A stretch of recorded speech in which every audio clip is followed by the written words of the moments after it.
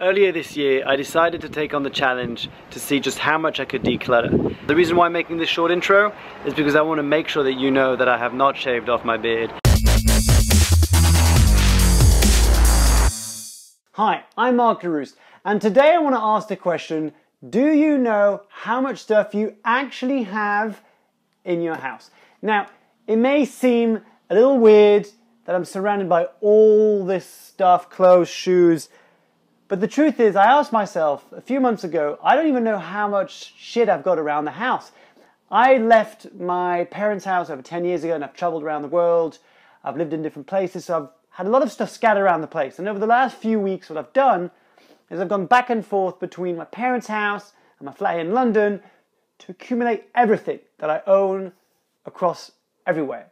So this is everything that I own 445 items included, ranging from jumpers to shoes to socks to boxes to coats to suitcases to bags, everything.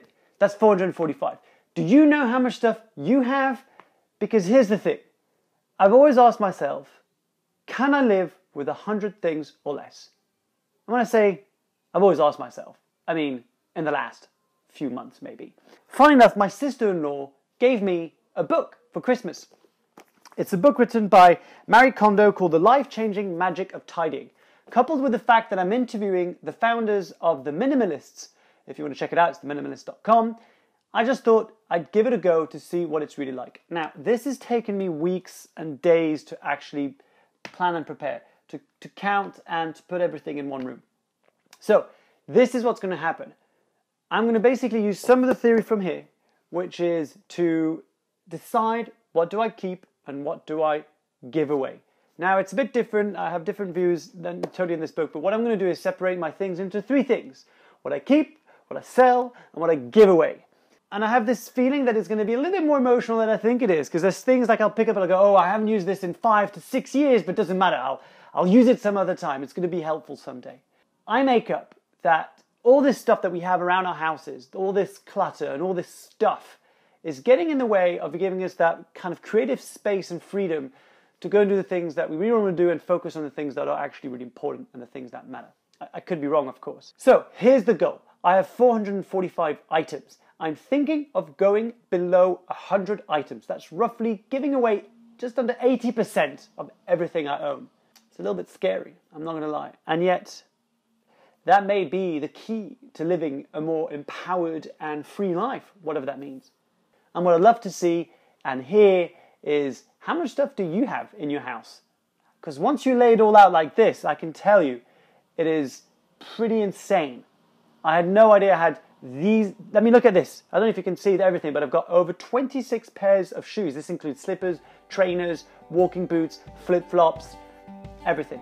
That's insane. Who needs that many pairs of shoes? Unless you're married Carrie or something. So there you go. Operation 100 things or less has officially begun.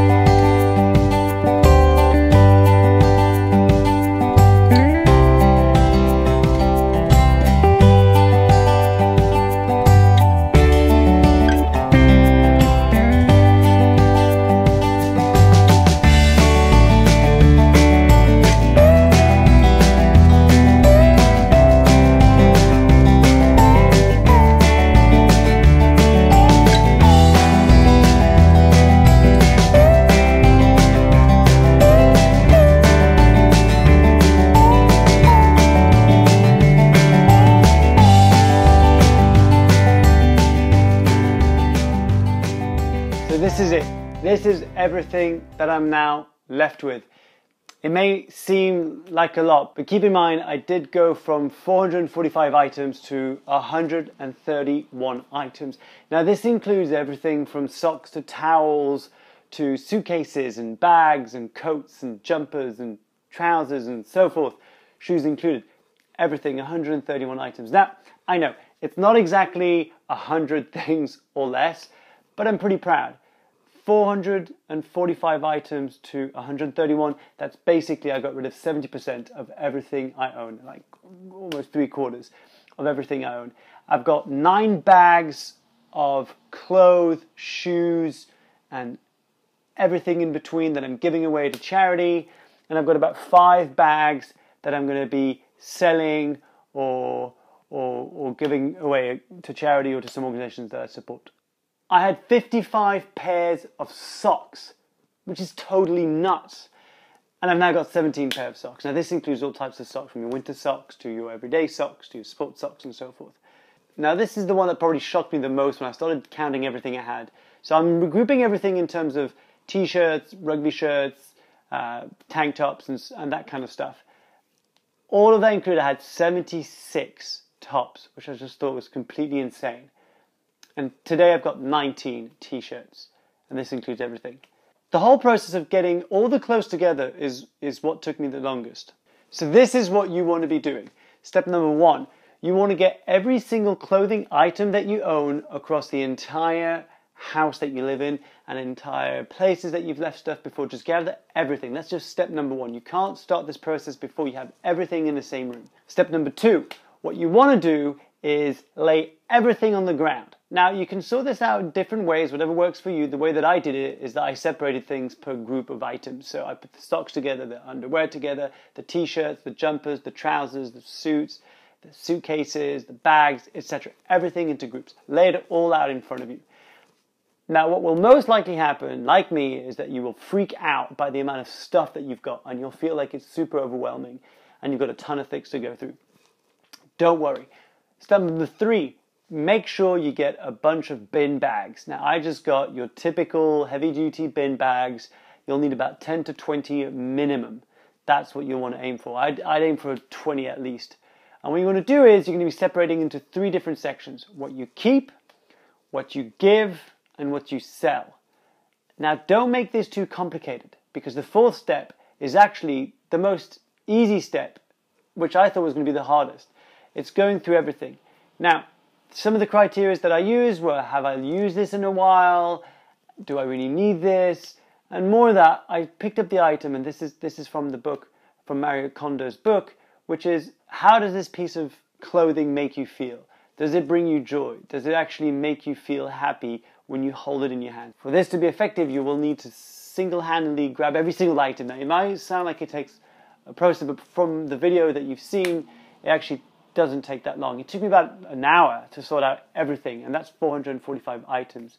Uh, everything included, roughly an hour just to sort everything out.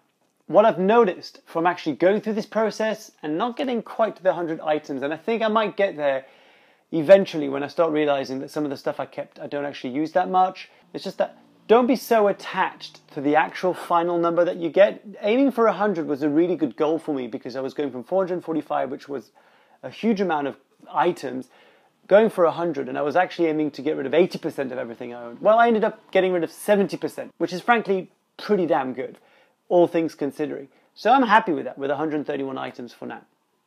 I'd like to be able to go down to 100 items one day, so watch this space.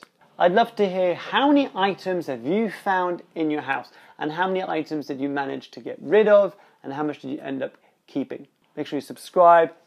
Also, give this video a thumbs up if you thought it was helpful and write a comment below. I'll respond to every single comment below this video and any questions that you may have.